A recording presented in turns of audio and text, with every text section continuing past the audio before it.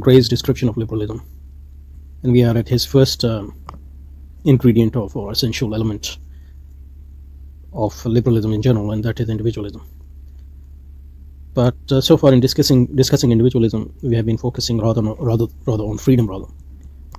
So we have uh, I've claimed that uh, freedom is the essential element of liberalism, and all other claims like individualism, egalitarianism, universalism, and progressivism they are um, subsumed under this, you know, or secondary to this essential element. And the reason for focusing on freedom is, uh, I, have, I, have, mentioned a few before, but one of the reasons is that it explains, for example, how liberalism can be individualist, uh, individualistic in its claims, but actually end up being non individualistic in reality. Like, in fact, end up uh, end up actually demolishing uh, individuality or restricting uh, individuality. So that cannot be explained if we focus on individualism as such. And there are many other things. So I'm going to look at uh, these aspects today. Why freedom is, why focusing on freedom is the right strategy in understanding liberalism. Okay. So when we focus on freedom of the individual rather than individualism as such, one thing we notice is that individual want freedom from external influences.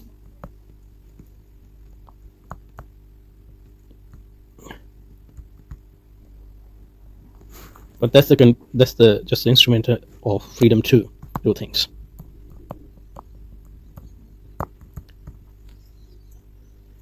And as so that freedom too is positive freedom So as is well known, liberalism focuses on negative freedom and leaves it up to the individual to do what she pleases with herself in her positive domain as long as she respects the similar freedom for other individuals. So in other words, liberalism claim doesn't prescribe or claims that it doesn't prescribe for the individual to do.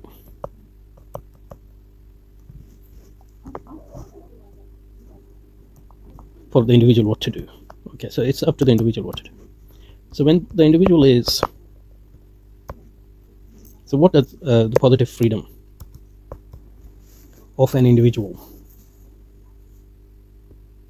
means? it means uh, fulfillment of your desires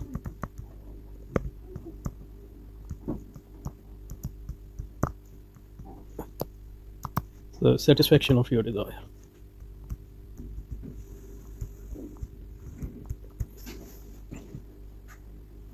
now for the satisfaction of desires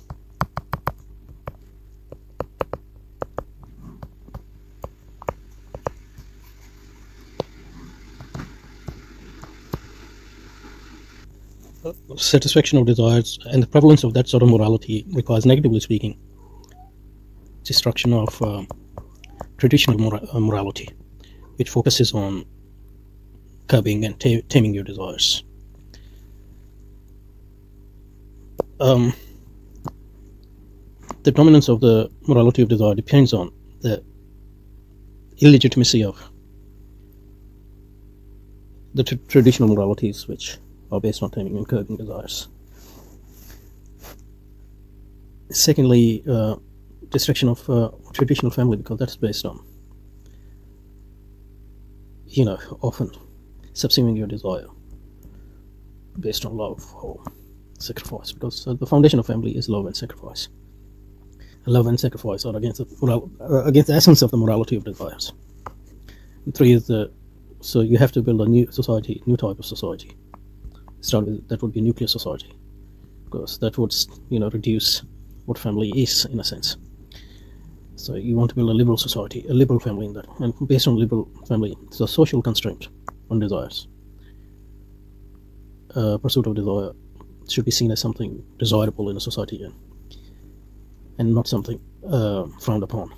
And finally, state. The purpose of state is not to impose or to promote its own good, but to promote the morality of desires, which is the morality that individuals should be free to pursue their own desire as long as they are compatible with the similar pursuit for other individuals.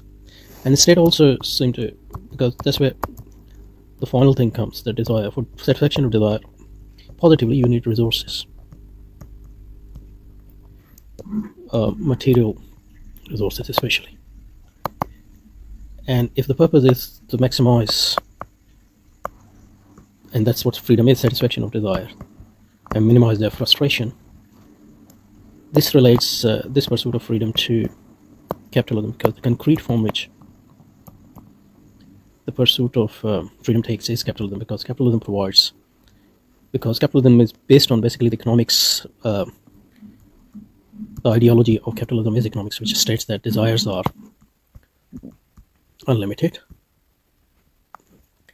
and but the resources are scarce so this scarcity principle is goes at the heart of the ideology of economics which is uh, a, a very important justification for capitalism so a society liberal society justifies capitalism. It's one of the most effective justification of capitalism. Because capitalism is justified on the basis of religion, like Protestantism. Capital, capitalism has been justified on the basis of uh, communism, communitarianism, nationalism. But liberalism has been the most effective justification of capitalism because it says that overcoming this, overcoming scarcity is the necessary condition for freedom. That is for the satisfaction of and maximization of uh, desired satisfaction for each and every individual and minimization of desired uh, frustration for each and every individual. That connects liberalism with capitalism. So even though the state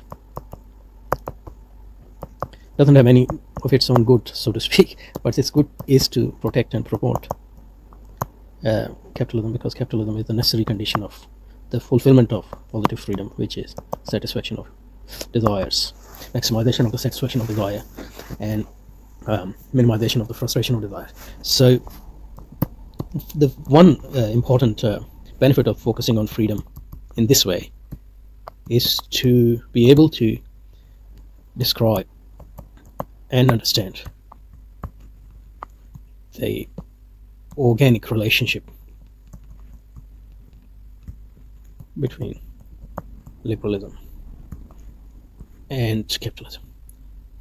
And even though liberalism is supposed to be based on individual freedom because the presupposition, presupposition is that the scarcity principle scarcity must be overcome in order to make this possible liberal society in actuality what become dominant is not uh, individual freedom but freedom for capital because that is that that is seen as the necessary condition for the fulfillment of uh, individual freedoms in the long run so even though liberal uh, liberalism based on individual freedom what prevails in a liberal society is the freedom of capital, and not the freedom of the individual.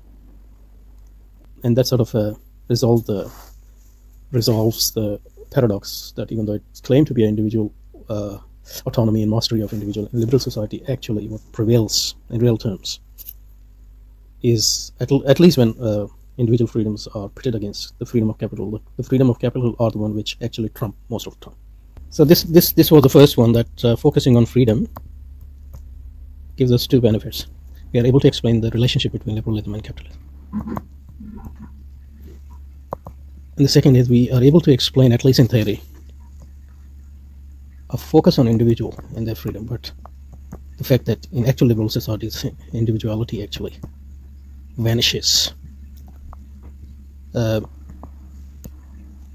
as the society matures into a mature liberal society and what prevails is you know what different people have dubbed uh, or described differently as one dimension one dimensionality or plurality of plurality which is actually geared towards um, singularity etc um, that's the first thing the second thing is uh, focus on freedom and relationship between individual freedom and desires and the ultimate focus on desires makes another thing clear for us. Uh, and focus on desires also leads us to the relationship between liberalism and capitalism because for in order to satisfy your desires and if you are want to make a society in which maximizing desires and minimizing their frust- frustration for each and every individual is your prime, in fact, only a social and state level good, uh, then the society will create is a capitalist society because in order to satisfy desire, you need resources. And that's clear from the work of such liberal philosophers as Rawls, for example, where he talks about primary goods and its relationship with the basic principle of freedom.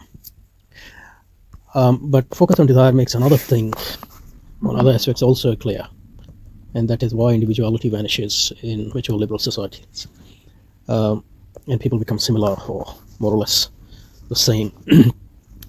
uh, and the reason is desires. When you dedicate yourself to desire, so desires are important uh, human individual mechanism through human acts for certain things and avoid certain other things. But desires remain individual des- desires of an individual only as long as those desires are uh, tamed and they are subsumed under my will.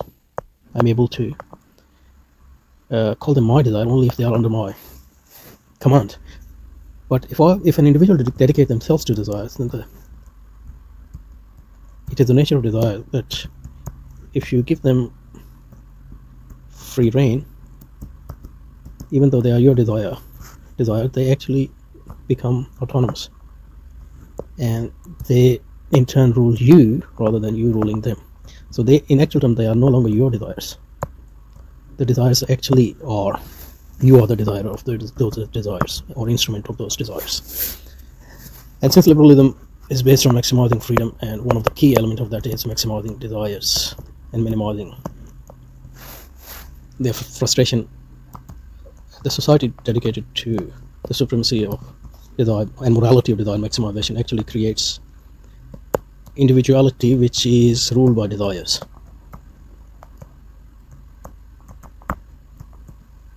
And since desires are something abstract in that sense, they dominate individuals, use them their instruments. So even though in, so liberal society end up being a society which is dominated by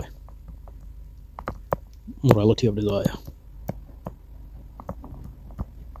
And that give it gives this society its one dimensionality. And desire, abstract desire become the sovereign. An individual become actually subservient to this sovereign. So liberal society in actual term, even though it's based on it, sovereignty of individual, what in actual term happens is it establishes the sovereignty of the sover- sovereignty of desires as such, abstract desires. And that's why even though liberal society is supposed to be individualistic, individuality and the sovereignty of individual actually if you, uh, actually vanishes in mature liberal societies. And what is actually sovereign is desires. And capital is another face of this, the sovereignty of desire, the sovereignty of capital. So the second uh, benefit of second positive uh, aspect of focusing on freedom is it explains the sovereignty of desires in liberal society. And consequently, it all explains again the sovereignty of capital and also why individualism actually vanishes in a mature liberal society even though it's supposed to be based on the based on the key principle of individualism as John Gray has uh, tell us. Um, okay, so now one last thing and then we'll finish up, finish this session. The last but not the least um, benefit of focusing on the concept of freedom is that on the one hand it uh, gives us the clear picture of intimate and close conceptual and normative relationship between different modernist and postmodernist ideologies. And number two, it also makes clear the relationship between these modernist and postmodernist ideologies like liberalism and socialism to capitalism. And it helps us to understand why the modernist civilization is a capitalist civilization and everything else, liberalism, socialism, and other ideologies are just the ideologies of this uh, cap- capitalism as a civilization. So, so the reality of the modern, mo- Western civilization, which replaced uh, Christendom, is that it is a capitalist civilization. And over time, horizontally and vertically, it has been supported by different ideologies. And although liberal, liberalism has been its core, the most successful ideologies, uh, or you know, in different times, it has been supported by other ideologies like Protestantism or socialism or Marxism or communism or nationalism or these days postmodernist movements, single issue movements like feminism, like environmentalism and other isms, etc. So this relationship between these variety of views become clear their internal relationship and their relationship with capitalist capitalism as a civilization if we focus on the concept of freedom and i'll just give you a glimpse of how this can be understood in next few minutes and then we'll finish this session. Okay. So th this is how freedom provides us the gives us uh, a clear idea about this intrinsic relationship between different ideologies of capitalism despite their internal conflicts and enmity and all those things. Because when we talk about freedom we can talk about freedom of individual individuals or freedom of groups. And then depending on focus groups can be either nations or more basic communities that can be might be freedom of labor or gender or it can be species freedom of species. So it doesn't matter which ideology you're talking about. If you're talking about liberalism anarchism you're talking about um, in freedom of individual. You're talking about nationalism in this modernist and postmodernist form you're talking about freedom of nation freedom of community. You're talking about socialism or liberalism socialism or marxism you're talking about freedom of labor or freedom of humanity in communism. Uh, if you're talking about uh, feminism or nowadays emerging um, what should we call it uh, maleism masculinism machism. Um, they focus on the freedom of gender. Uh, and you know people have also uh, freedom of minorities or things like that.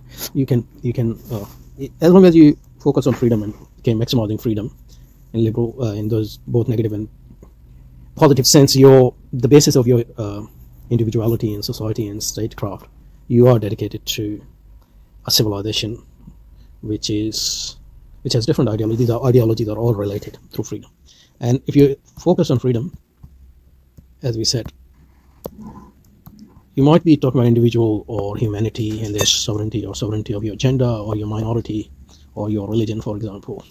If this religion is based on freedom for example protestantism or forms of islamic uh, banking based uh, and economics islamic economics and the uh, and things like that uh, what you actually end up creating is not the sovereignty of individual or groups or labor or humanity. What you create the sovereignty of is, is the sovereignty of capital. And you all these build capital capitalist system in their own ways. Because dedication to freedom actually its concrete form is dedication to capital because in, for freedom what you need is as economics teaches us overcoming the scarcity principle. So sovereignty of individual cannot be established unless the sovereignty of scarcity can be overcome and scarcity cannot be overcome unless you uh, let the sovereign uh, you give sovereignty of capital a full reign. Uh, and that's why it doesn't matter if you call talking about nationalism nazism fascism what actually build are capitalist societies in their own way liberalism marxism what they actually build is capitalism. You can see china today. Uh, and that's because it's not an accident because it's all dedicated to worship of freedom.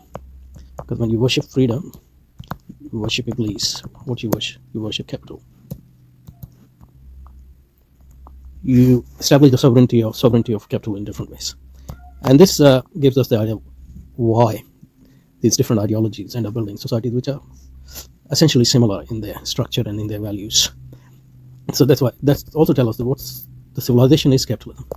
All other things are ideologies liberalism protestantism nationalism uh, marxism humanism etc these are ideologies of capitalism and capitalism uses them according to its own needs. Even though it has to be said uh, liberalism is the most successful ideology of capitalism, and the reason is clear because it's easy for capital to use an individual rather than the whole nation or the whole humanity or whole gender, etc. So resistance to uh, capital is the least in liberal societies. That's why it's the most successful ideology of capitalism, but that doesn't mean that others are not the ideologies of capitalism. Okay, so that's a good place to